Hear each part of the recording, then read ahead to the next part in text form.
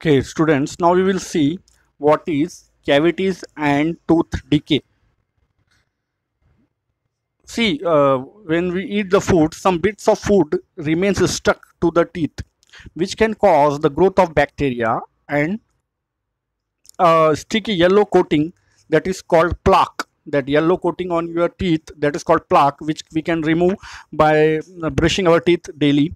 In the morning when we brush, whatever we eat in the night and day yesterday, uh, it mm, creates a black coating which can we have we have to remove with uh, brushing the teeth.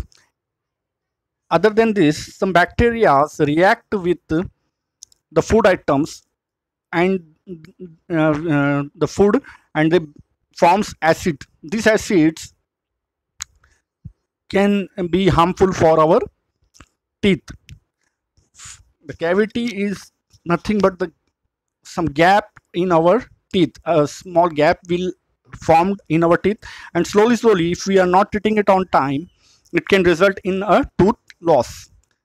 Also the infection of pulp can be happen. It is very painful uh, as it is related to the nerves. So regular brushing helps us to prevent the cavity. If unfortunately cavity is formed we should immediately consult to the dentist. Okay